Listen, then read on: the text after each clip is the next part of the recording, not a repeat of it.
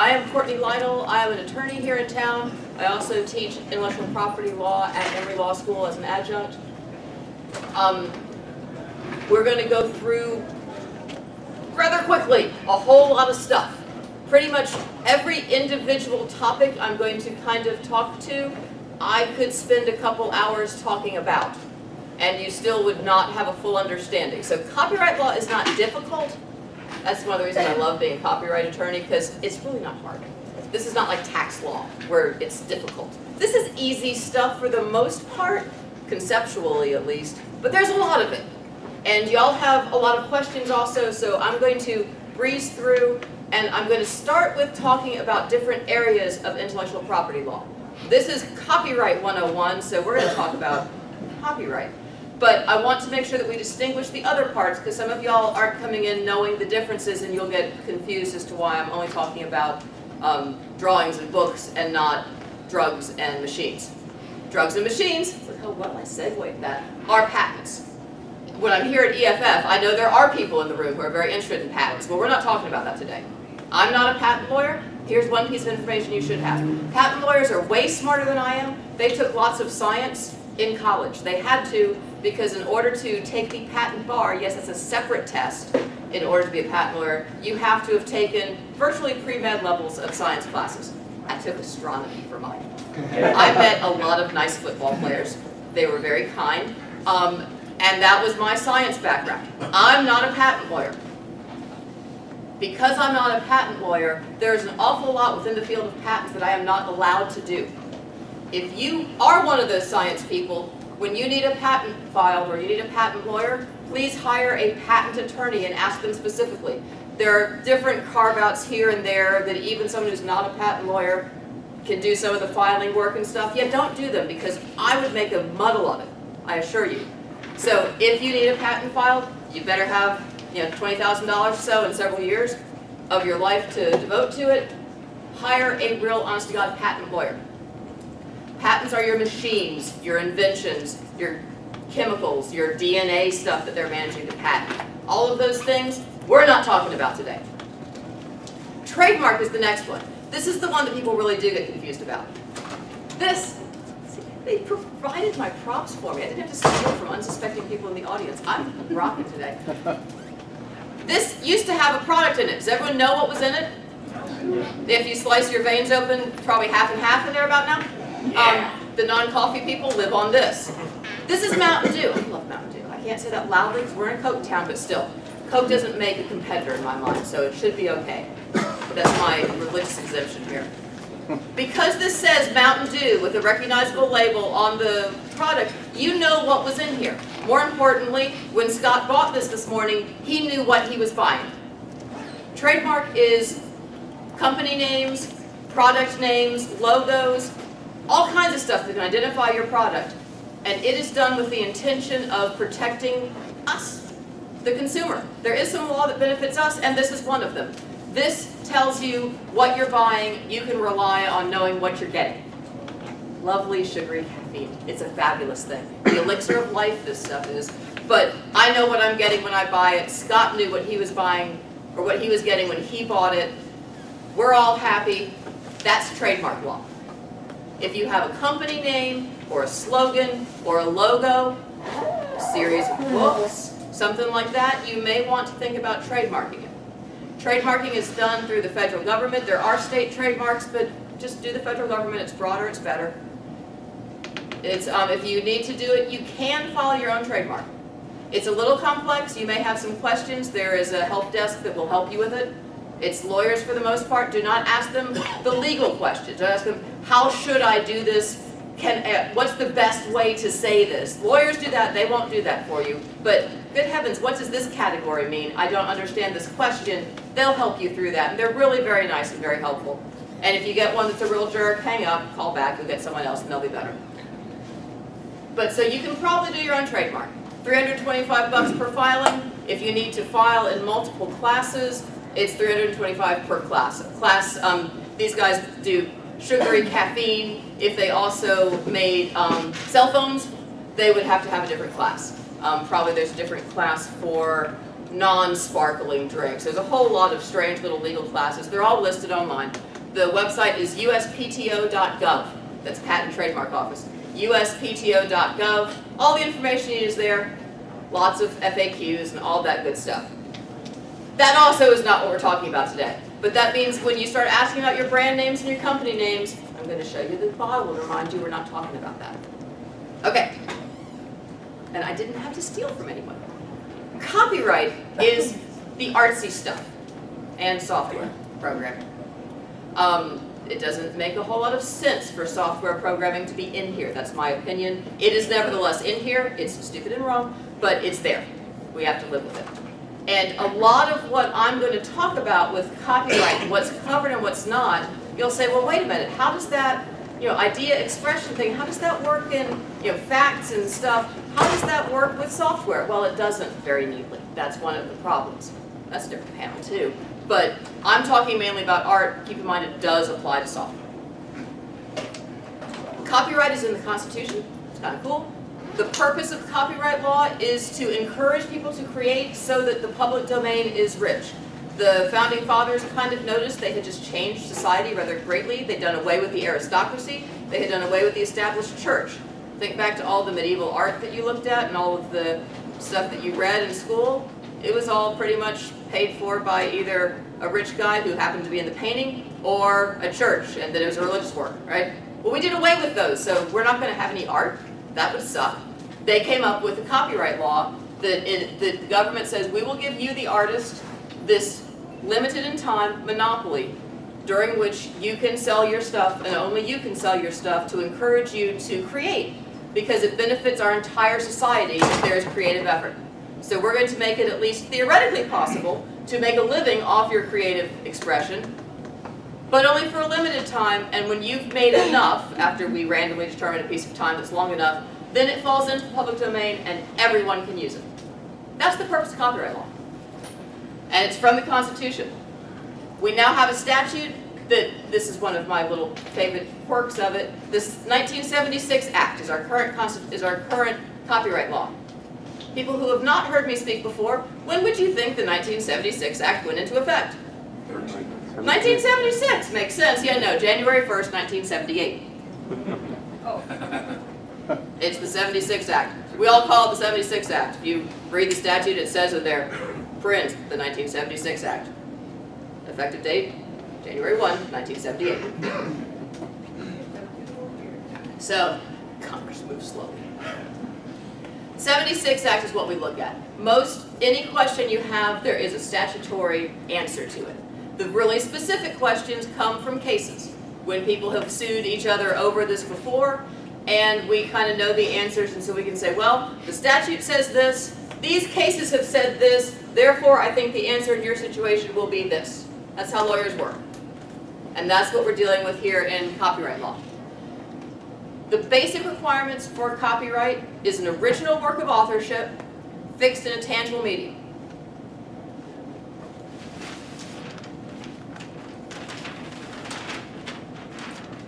My original work of authorship fixed in a tangible medium covered by federal by federal copyright.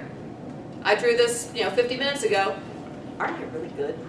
Um, I drew this 50 minutes ago, and it is covered by federal copyright. Because once you have fixed your expression in a tangible medium, written it down, or put it in your computer, computer memory counts, it's covered. Now, if I really cared about this piece of art, although it is the first piece I've ever sold, so I'm a professional artist and that's kind of exciting to me. But if I were really an artist and this was something I really cared about, I would also file to protect it. I am covered by virtue of having drawn it. But if it matters, if I'm making a living doing this, if this is my novel, if this is a piece of art that I am going to sell and make prints of and make money off of, I am going to file the copyright. This is at copyright.gov. And it's easy. You really don't need a lawyer for that at all. The first time you do one, you may have a question or two just because, you know, we're lawyers, we'd like to use strange words, but they're easy. And you seriously never need to hire a lawyer to do this one thing to be careful of. Copyright.gov, uspto.gov, not .com.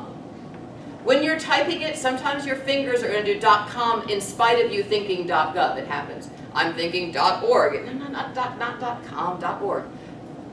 .com is usually used by various different companies who want to charge you extra money to do the filing. And they may or may not do the filing, depending on who's um, picked up that address these days. So be careful. You should be going to a government site. There are fees to file both your patents or both your copyrights and your trademarks, but if you have a third party do it, there are more fees because they're not doing it for free. So just be careful that you go to the actual government site, not something similar. The Library of Congress site is, they're the ones who do the copyrights, very easy to maneuver through. If you have questions, they also have people you can call and ask questions. They also tend to be fairly helpful and nice. They also will not give you legal advice, so think of how you're going to ask your question so that it's a question about the form and a question about filling out the filing, not a question for an attorney. Just be smart about how you answer, ask the question, and then they can answer and help you out. Okay, I want to make sure I go through the things I do. So originality in copyright is a low standard. There has to be some. I can't just take a list of words and alphabetize them and get a copyright in that. I have to have done something original, but seriously, this horse is sufficiently original.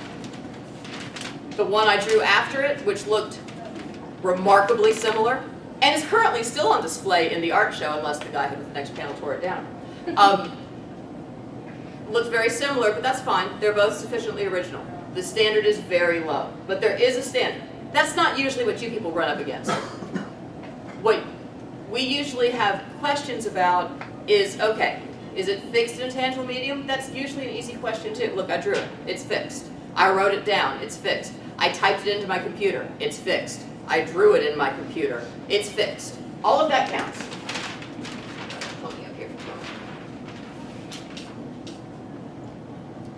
Those are your first two statutory requirements. Those are pretty easy. Okay. I actually do have notes. I like to put them in front of me so I make sure we cover what we need to. Your next issue is, is it copyrightable subject matter? This is, again, kind of a threshold issue. Is this the right thing to have a copyright on? Originality and fixation. The next thing we talk about is idea versus expression. The idea of drawing a cute pony with a flower I can talk about it, I can have it in my head, I can't protect it. Once I draw it, that drawing is protected. But I can't keep other people from having the idea of making a cute pony with a flower and drawing it, probably more with more talent. I can't stop them from using that idea. Every work, there's a line where you cross over from the idea of the work to the actual expression, the doing of the work. I usually use um, boy meets girl, boy and girl fall in love, things go badly, everyone dies. You've read that story many times. Um, that's the idea. More than one person can write that book. In fantasy world, the idea is usually um, young boy lives misery, you know, lives a small miserable life with hard work where everyone hates him. He has no parents. He doesn't understand his heritage something strange happens, usually some mysterious figure in a robe appears, takes the boy somewhere, he has adventures, he learns things, he finds out he's the rightful king, he's a Jedi, he's something. He's a wizard. Actually, the funny thing is, my mom, who is not big into any of these genres, um, saw Star Wars. She actually went with me to see it in the theater when it came out. I'm that old. Um, we saw it the next time she was exposed to science fiction or fantasy was when she was at my house here, so I'm now grown up, have a house, moved to Atlanta, and she was here for Christmas, got sick, was stuck in the guest room looking for something to read, had my bookshelf to draw from, and said, oh, this Harry Potter thing, everyone's talking about that, I'll read that. She got halfway through and said, this is a complete knockoff of Star Wars. and I'm like, what? No, it's not. She said, well, look, it's an orphan boy who doesn't know his family. Everyone, you know, the, okay, Luke's with, with his uncle, they didn't hate him, but still, downtrodden boy discovers he can do magical things. This, you know, dude comes and show, you know, teaches him how. He has to be the one to defeat the big guy in a black robe who's the ultimate evil in the universe. Their names even sound alike. Like Vader, um, if those are the only things you've ever read, they do seem similar, don't they? To us, they don't. We know those are completely different stories. But my mom didn't see the distinction there between the idea and the expression. We see completely different works. Mom said it's the same stupid story. She didn't really like either one of them. but so the basic idea is not protected. How you tell that story is protected. And where the line is from the basic plot line to where it's protected, that one's a little fuzzy. But if I start working on the Harry Potter version of the same story, okay, so I'm going to say he is an orphan, he doesn't know anything about his family. Now, here's where Luke is told a little different. You know, Luke knew his dad was dead. Well, that didn't turn out to be true. Oh, I didn't spoil that for anyone. Um, so I should have said spoiler alert. Um, he was living with an uncle, you know, so there were some different, and we start to see that they made different choices as they went through it. Harry gets an invitation to a school, Luke gets recruited by a guy in a brown robe. Uh, you know, th so there's different ways that we do it. We take the same basic story, kid doesn't know his heritage, kid learns he can do magical things, and we make it different. The details we add, the descriptions we make, the decisions we make about how the kid is, who he is, what his world is like, that's the expression. When you make it something better than boy meets girl, things go badly, everyone dies, somewhere after that you have both Shakespeare and West Side Story and a whole bunch of other things. Somewhere you've crossed that magical line into your own work, and that's what's protected. You can't keep someone else from doing the same basic plot. I can't keep someone else from drawing that basic horse. Okay? So that's your idea expression. Another thing that you can't protect are any facts in your work.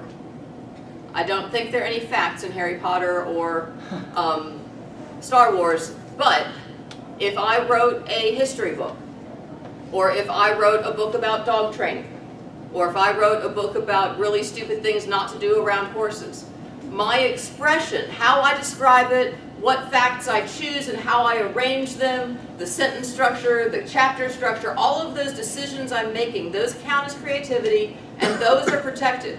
The actual underlying facts, dumb things not to do around horses, I would make that list out of things people have done while I've been riding a half-trained horse. Um, seriously, don't throw a big rock into the creek when I'm riding the two-year-old who's only sort of certain this is okay. Um, there are lots of dumb things not to do. People tend to do them I'm not dead yet, so it's fine.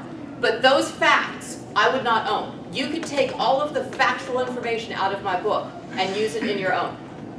If I came up with a really great way to make alcoholic Mountain Dew, I don't mean just pouring something into it, but I could make my own product, or even if it was just pouring something into it, I could tell you the best thing ever to pour into your Mountain Dew to make a great adult nighttime beverage, and I could write a book about it, if I really stretched it out, um, anyone who wanted to could take that same formula, that same process, those are really patent things if they were protectable, all the facts I'm giving, all the directions I'm giving, you can have.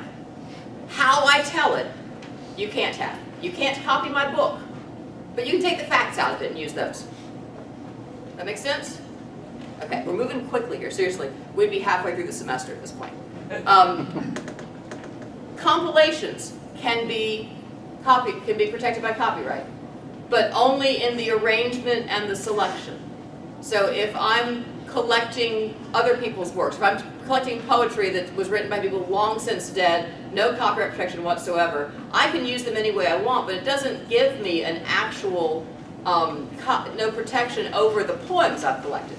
Those are already in the public domain, my arrangement and protection and selection of them can be protected, but not the poems themselves. Once something falls into the public domain, I can't pull it back out.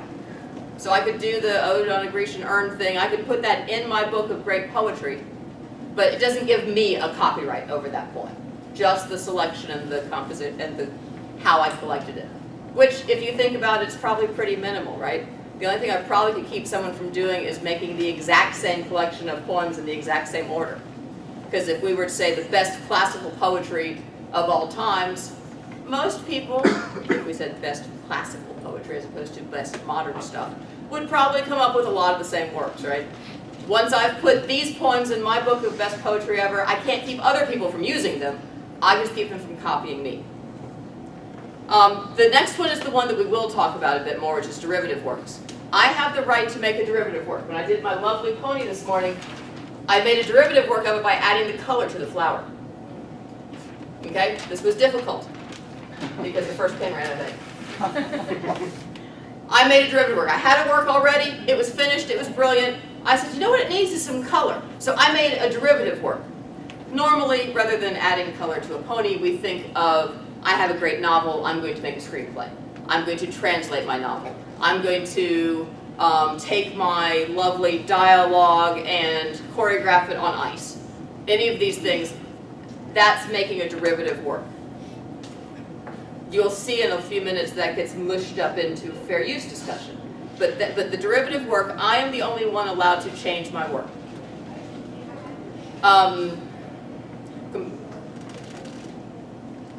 but my derivative work is copyrightable. What I have, in effect, I have two copyrights here, if you will. I have the original work, and I have the derivative work. Doesn't matter here, it's all protected. If I had drawn this, well, no, I'm still alive, it doesn't work. Um, if someone else had drawn this pony and they were long dead, and this was just a famous piece of art, and I chose to colorize the flower, I do have a copyright in this. My copyright exists only in that flower, color. Just like my composite, my collection of poetry, only how I collected, or the ones I chose to collect are covered, when I make a derivative work, the only thing that I'm getting new protection on is the changes, not the underlying work. I can give someone else permission to do it, and then they're allowed to do it. If they don't get permission and they do it, they're violating my rights. But if they make a derivative work with my permission, they have a copyright in the derivative work, but only to the extent they changed it, not the original. So making a sequel of your novel doesn't pull your novel out of the public domain if it were there already. Does that make sense? So derivative work is another thing that is copyrightable, but only the change is copyrightable. Computer programs are copyrightable. Um, pictorial, graphic, and sculptural works. Okay, we need that. Pictures, drawings, sculptures. The art stuff, also protect, also subject matter copyright. That's what copyright covers. What about um, people who take somebody else's art um, that's not in the public domain and make edits to it and then repost it? That is an infringement. Okay. You have made an unauthorized, we'll get to fair use. Okay. Okay. Um, but there was a whole panel on it yesterday, so we're not gonna spend the whole panel today on it. But if you take some, if you drew the flower, if you colored the flower on my pony and posted it, you would have violated my copyright. Whether I sue you over it is a different issue. Whether you might be able to make a fair use claim is a different issue. But like I said, we'll get to fair use in a minute. I don't want to make it swallow the whole presentation. Ownership is relevant to you guys mainly in two ways. For the most part, whoever creates it owns it. I drew it, I own it. That's easy. I wrote it, I own it. It's tricky in two ways. One is if your boss thinks she owns it. If it's something you do for a living, you have to make sure that it's not something that will be considered a work made for hire. If you are a computer programmer and you want to program some stuff on the side for a, you know, for some extra money or fame or fun, look at what you signed when you started working because you probably signed something saying everything you do is theirs.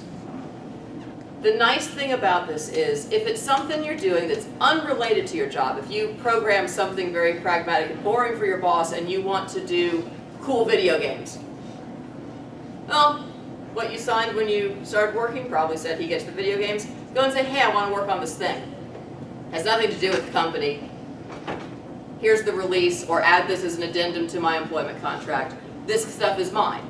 Don't wait until your work is worth something. Even if it is a video game and your company does something really boring involving widgets, if it's worth a lot of money, your company's going to want it, right?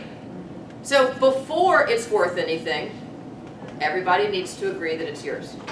Get them to sign something, even if it's something you draw on a piece of, right, please don't draw it, on a piece of paper. I am working on this game, I am working on games, whatever you need to do. If your boss agrees, you're good. Don't wait till it's worth money and then people fight about it. Oh, you're doing a computer game on the side, oh, isn't that cute, you techies, yeah, whatever. He'll, he won't care. Later when it's worth money, he's gonna care. If it's a work made for hire, even though you wrote it, you're not the author. You don't own the work, the employer does. If you are a scientist working for a university or working for a pharmaceutical company, I guarantee any drugs you develop are not your own. You have agreed that your employer owns them. Same thing for authors, same thing for technical writers. Be careful. The closer what you're doing on the side is to what you do for a living, the closer you are to having a dispute later about whether you actually own it or not. You get tons of rules and tests and stuff. But if that's where you're treading, be careful and look into it more to make sure that you don't find out afterwards that you screwed up. The other thing to be aware of, so you don't get into trouble with it, is joint ownership. Most of y'all are familiar with the Broadway musical Rent. Um, the guy who um, who wrote it and produced it was um, died after the you know dress rehearsal, final dress rehearsal, right before the show opened. The show became hugely popular. He was dead. Maybe that helped. And artists always make more money. Um, and funny how after there was lots of money there, up comes this woman knocking on the door of his parents saying, hey, guess who I am? I'm the joint author of the musical. Yeah, he forgot to put my name on the playbill. I get half. She was an editor. She helped him. I mean, she did work with him. But he had never thought of her as a joint author. And honestly, I don't know the woman, so I'm slandering her, I suppose. But um, I think that she probably knew she wasn't a joint author at the time. She was being paid to do some work to help him get the script better and get the play better. And you know, she's a polisher of sorts. And then she, but it occurred to her, he was dead, and there was a lot of money there. I like money. No one knows better. I'm an author. I'm a joint author. We intended to work together to make the same thing. Yeah, he didn't put my name on the cover, but we thought that was okay. We agreed to that, and he's not there to argue. If you are working with someone else to make your work, write down what the relationship is. Are they also an author? That gives them a lot of rights to the work. If they are not, get them to acknowledge, I am not a joint author, neither of us has any intention to form a joint ownership here. Because the, the test for whether there's a joint author is basically the intention of the parties at the time they did the work. Did you get any money? Hmm? Did you get any money? I don't think she did. I think that, but the lawyers are the ones who really got the money there. Whenever it goes to court, there's one person you know who did well, and that's the litigator. Uh, there's two of them. So there's two people who did well, the lawyers on both sides. Oftentimes you get to the end of it, neither side gets any money, but both sides' lawyers get a lot of money. We set the rules, we benefit from them. It's how it works. Hmm. So if you are working with someone, even if you're doing, if you're writing the book and you hire an illustrator, write down what the relationship is. Make sure you got, ideally you'll hire an attorney like me to do it. Do not hire a litigator, they say they can draft, they can't. It's like getting your dermatologist to take care of your cancer. It's just not smart. They're both smart people, they're both good at what they do, but they can't do each other's jobs. Don't show the heart surgeon the mole that you have, especially the cocktail party, they hate that. And don't try to get the litigator to write a contract. Here's the thing, litigators think they can write contracts. I know I can't try a case. I don't have the skill set. But they think they can write contracts. Nevertheless, if you are working with someone, make sure both of you agree what the deal is. Think about what the deal is going to be. Are you going to use their drawings in this edition of the book? Is the artist going to be able to sell those pictures somewhere else? Can you use this in your next edition of the book? Can you use this picture in a different book? Well, there's no law that tells you the answer to that. Copyright law doesn't tell you what your agreement was. You have to make the agreement, and if you can't hire a lawyer to do it for you, at least just write it down in English, not in bullet points. Use complete sentences with punctuation. Otherwise, we can tear it apart and make them anything, anything we want to. Don't be lazy. Write it in real English. Don't try to sound like a lawyer. Please, for love God, don't try to sound like a lawyer. Just write it in plain English. This is not as good as having a lawyer do it, but it's better than nothing. But seriously, if I tried to sound like I had serious urban background and I tried to sound like a serious urban cred sort of person, You guys would laugh yourselves stupid. That's what you sound like when you try to sound like a lawyer. Don't try to sound like a lawyer. Just write it in English, but use full sentences, subjects, verbs, objects, punctuation, capitalization, all that stuff that no one seems to do anymore. Do it now. Write down, I am using your work, your art. You can sell copies of it later for anything you want. I can use it in any edition of this book. I can't use it for other books. I can or can't, whichever you pick, sell copies of just the art. Yeah, make sure y'all, you don't have to put it in legal terms. It's better if you can, seriously it is. But if this is a startup thing for you and you're just working with someone else and you're hoping that you'll make some money from it, you can't afford my people. So at least write it in English so you know what the plan is, because then you can at least, when she says later, no, the deal was that I get half of the royalties on your book. Say, no, no, it says right here, you have no rights to the book, I have no rights to use your pictures any other way. You know, write it down that way and you can at least overcome that knock on your parents' door saying, hey, your dead kid didn't tell you, but we're partners and I own half of that. So avoid that knock on the door by planning ahead. Once you own the copyright, the other issue we talk about is transferring. When you transfer rights, we call it a license. I have lots of rights, and I can transfer all or some of them. I'm going to run real quick through the rights you have. It's a bundle of rights. We in law, in law school call it the bundle of sticks because we have no imagination. But picture a bundle of sticks. I can give you one of them, I can give you all of them, I can say you can have this one but only for 10 bucks. You can have this one but you have to give it back to me in an hour. I can do that with my rights under copyright. I don't have to transfer everything. I can give individual sticks. But just like the stick, once I've given it away, I can't also give it to someone else. Right? Unless I say specifically, I'll let you have this stick, but other people are going to have this, are going to share it with you. All those things are possible, but you have to plan it. The rights that you have, that you can, that are these little individual sticks. The obvious one, the right to copy. We need that. That's why it's called copyright. The right to copy. See how that works? Um, the right to copy. That's the obvious one. The right to derivative works. Color my flower. Translate my work. The right to distribute. The right to publish, the right to perform, the right to display. Display is really more for brilliant art than novels, but all of those kinds of rights belong to me, the author, until I give them to someone else. Anyone who takes those rights from me, who does one of those things without my permission, has violated the copyright law and is infringing my rights. So it's not just copying, it's also doing any of those other things is an infringement.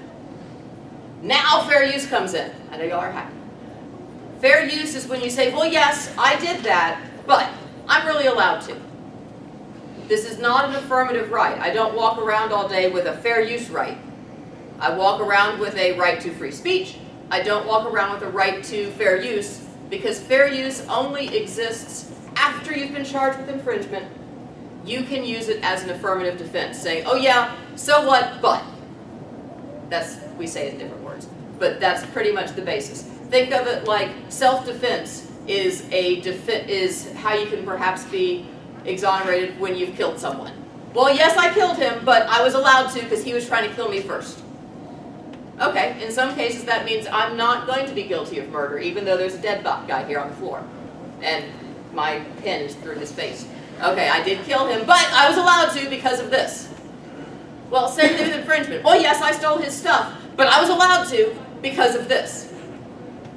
Fair use is murky. If you rely on fair use, you are a braver person than I am because not only is it something that only applies in court, which means you're paying the lawyers to get there, and you don't know whether it was fair use until the judge tells you. There are four factors that we go through to decide if something is a fair use. Um, we have four factors we go through to decide if something is a fair use. Like I said, we talked about this for an hour yesterday. We could talk about it for hours and hours, and you can get copyright lawyers to each throats over this because lots of people care. Those four factors, there's not that you have to meet all of them. And there's no actual numerical guidelines in here. Four squishy factors, and the statute says balance them. So I'm pretty sure that if you satisfy none of the four requirements, you probably don't have fair use. That's as far as I'm willing to go. And I do this for a living. Here's the factors. First one is purpose and character of the use.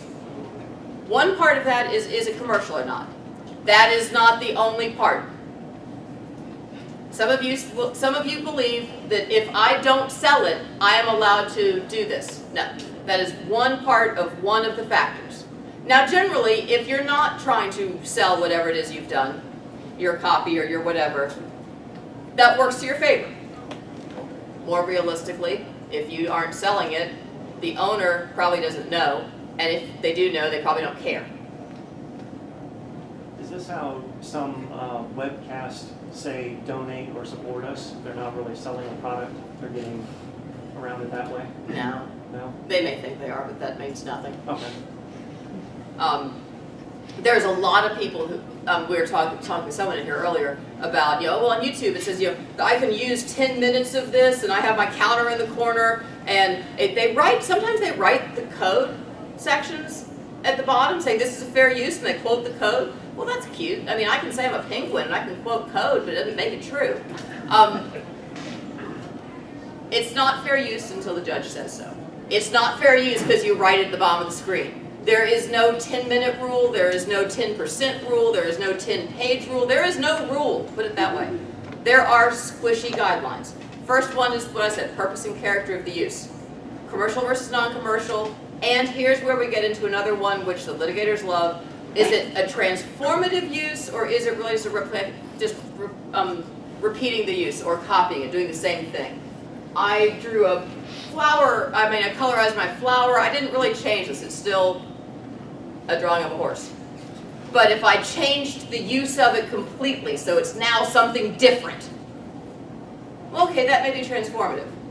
Or it may just be a derivative work. I can't tell you the logical difference. Judges will sometimes. The second element is the nature of the copyrighted work. Remember we talked about facts aren't covered. So if I have a very factual work, if I have a list of directions for something, that's not going to be really in the heart of copyright. Artwork. This is the heart of copyright this very drawing. Um, so this very drawing has much more protection and is less, a, a, copy of it is less likely to be a fair use than if I had factual things or directions. The nature of the underlying work, meaning is it really artsy stuff or is it kind of factual stuff? Um, the amount used. There is no bright line test. I've heard lots of them. None of them are true. There is no bright line test. Can I use, if I use the whole thing and copy it, no. If I use a little piece of it, maybe. Some of the purposes that fair use likes are things like criticism, comment, news reporting, teaching, scholarship, research, those kinds of things. If I write a book review of your new book, I can excerpt pieces of it to put in my book review. We all know that because we've seen it in real publications, not just on the internet, and they don't have to get permission to do that. Unless they take too much. Gerald Ford wrote memoirs about his entire life. It's a very thick book. Those of you who remember why he's relevant to American history, what is the part that people really wanted to read about? Nixon. Nixon, Watergate, and the pardon. Um, so this magazine got a pre-publication copy of his book, was writing their review of it, and what do you think they published? The part on Nixon, Watergate, and the pardon. No one wanted to read the book now, they'd already read the good stuff. Ford suit and won. They had taken a very small piece out of his very thick book, but they took the good stuff. So even if it's a little bitty bit, this is one of the reasons there are no real quantitative rules, you can't take just the good stuff either. I've always wondered about this collage artists.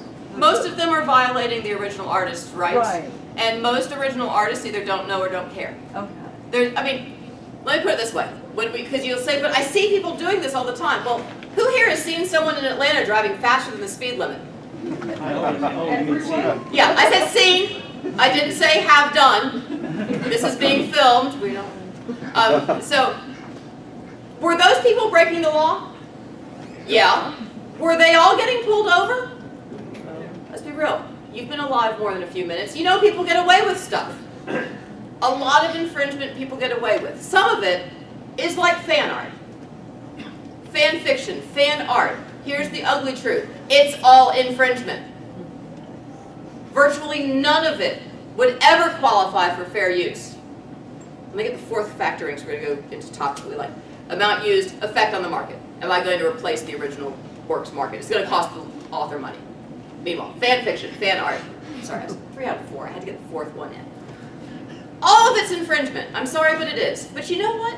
Most of the studios have figured out that if we're spending time writing about Kirk and Spock, we're gonna go to the next movie.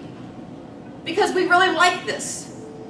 And if we're spending time drawing pictures of the Enterprise, making more stories about what might have happened when Data was young, was Data young? I guess he wouldn't have been, you know. if we write all of these things down because we're excited about it and we share it with our friends. Now, of course, back when dinosaurs roamed the earth and I was young, and I did indeed write a brilliant piece of, um, it was really a parody of Star Trek. It was kind of a funny piece. It was brilliant. My friends and I wrote it um, in the basement when we were in high school. And it was lovely. And we shared it with all of our friends, and all 10 of them. We performed it one day at a party. Seriously, we weren't even drinking yet. Um, and it was great. And yeah, we were violating all sorts of copyrights, but you know what? Paramount didn't know. Roddenberry was still alive, and although he is indeed all-knowing and all-seeing, he didn't even know. And if he had, he wouldn't have cared. Because they had figured out that by letting us do that, no matter how bad the movies are that they put out, we will go see them. If we're doing fan fiction, they love it.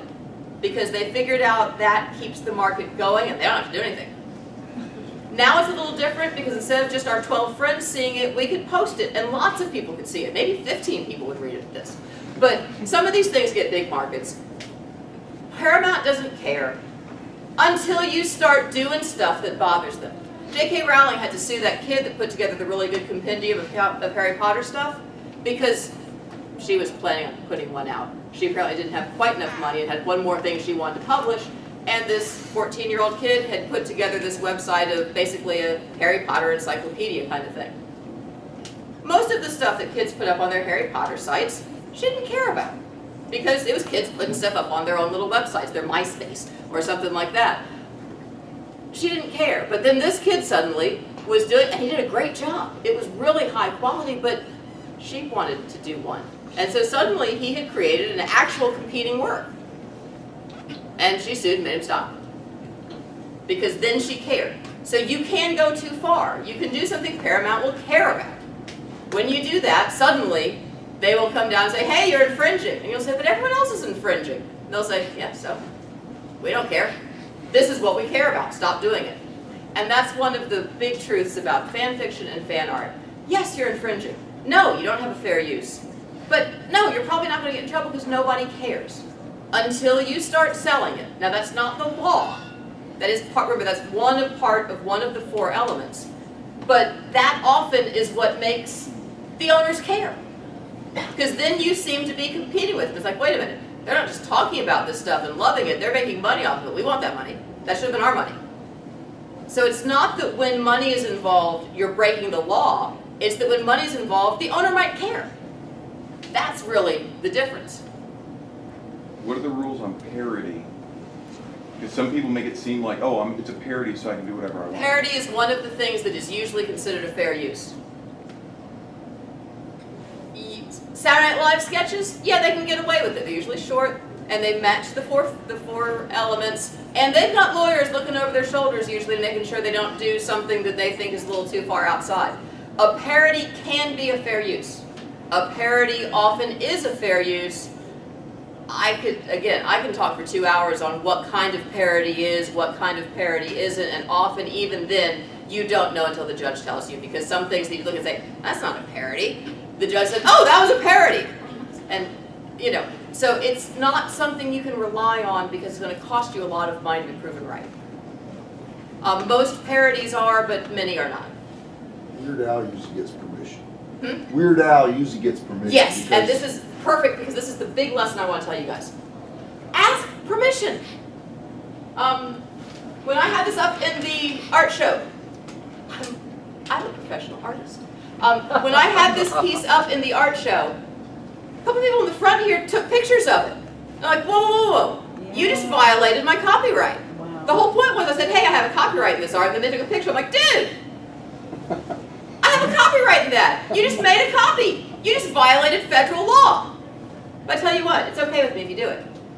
Everybody who wants to can take a picture of this pony. Anyone who wants a picture of this can do so. But you can't sell it for money. I can make that the rule too.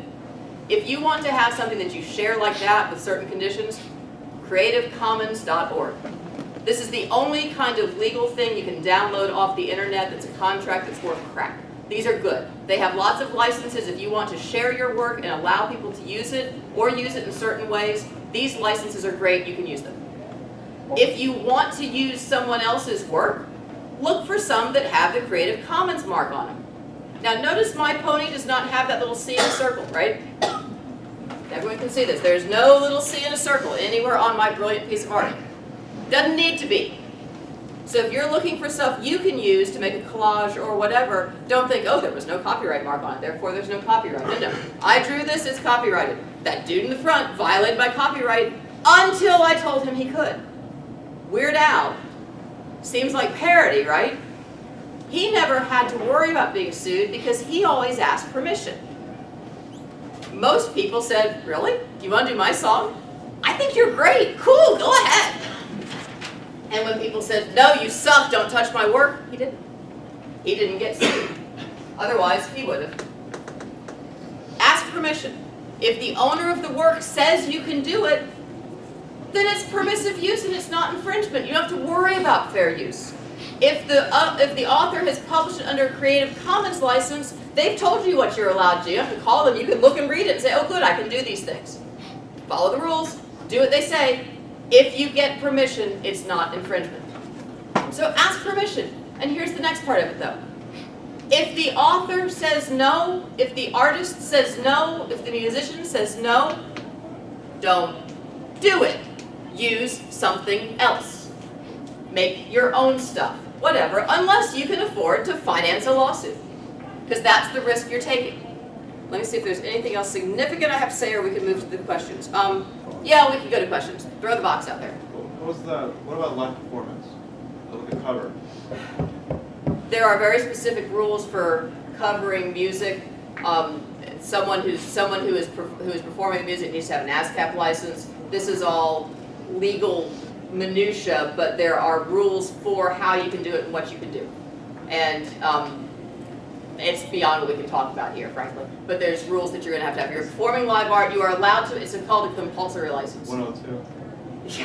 Uh, it's uh, actually music law. Um, it's a compulsory license. Music has its own weird rules. This is something that I think should be used in fair use, frankly. That's a different panel too. Maybe Meredith should do that one next year. Um, how we think it should be fixed. I think that we should use something like a compulsory license in fair use. The compulsory license is, yes, you can perform this song, and you have to pay to do it.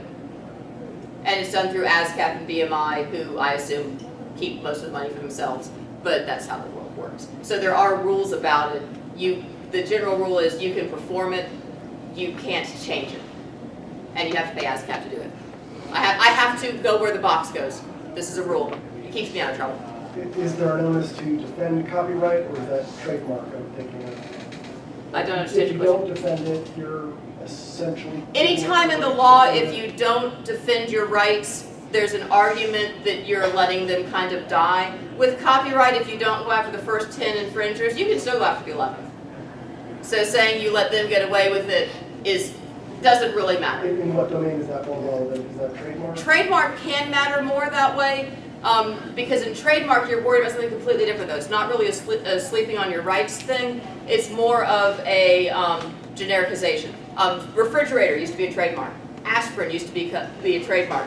Xerox came really, really close to um, being a generic word for copier. Xerox used to print full-page ads in the Wall Street Journal saying, please don't use our name as a verb. It is a Xerox copy machine, not a Xerox machine. And please don't go Xerox something. Please make a copy on your Xerox machines. People start using your brand name for the noun, like Kleenex, Band-Aid, Google. um, Google, um, I don't know, they just write their own rules. I'm not even gonna opine on Google, because Google always watches me, so I don't like to piss Google off.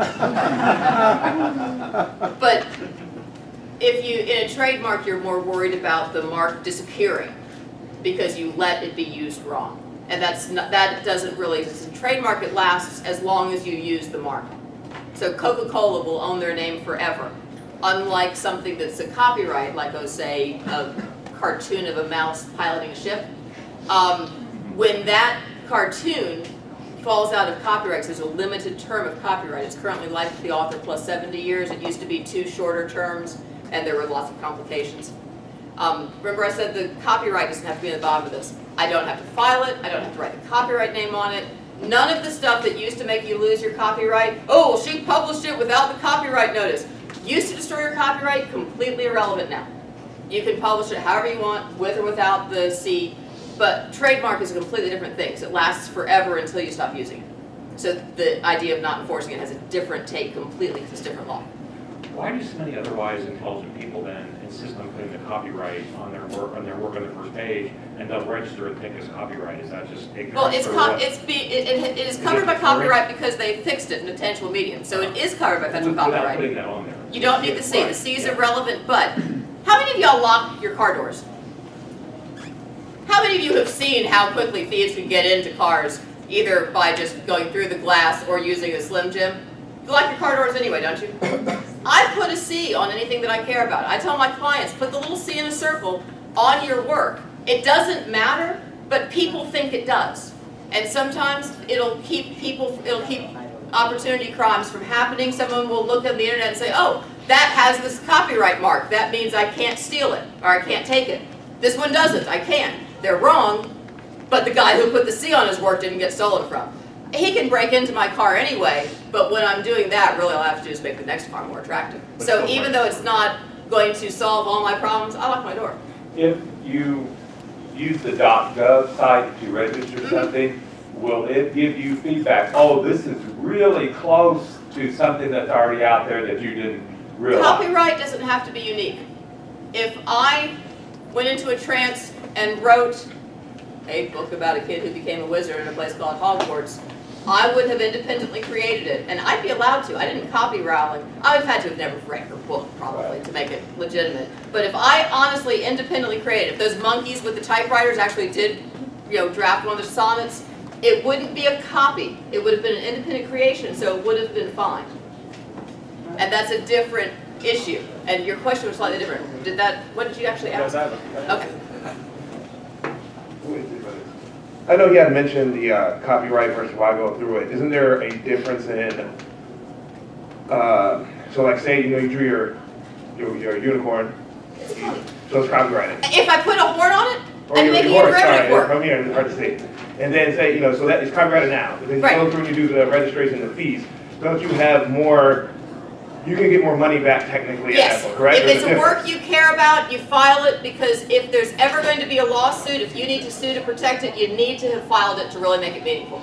So if it's this, I'm not going to spend the 35 bucks and file for this. I could, maybe I should, because it's my first professional artwork.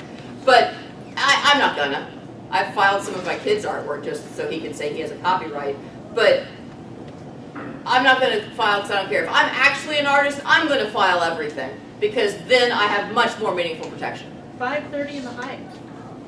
Yes, that's the you next find- panel. If you find some of your work on the internet, hmm uh, and you wanna get it down, is there like a standard set of steps that you? Yes, the DMCA, the Digital Millennium Copyright Act, sort of sounds like the Village People, but it's not as much fun.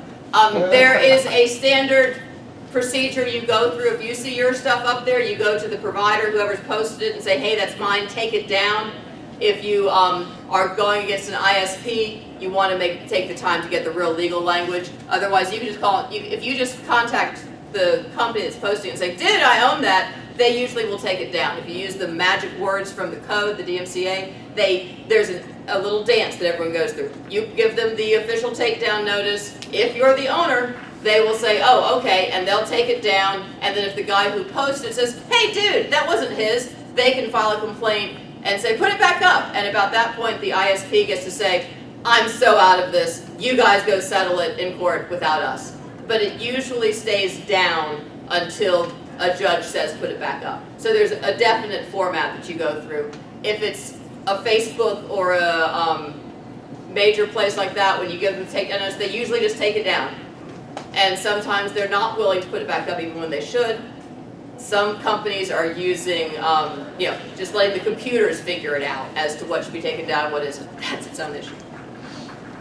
I I have to go with the box. Are there any companies or reasons why things will go further than a cease and desist?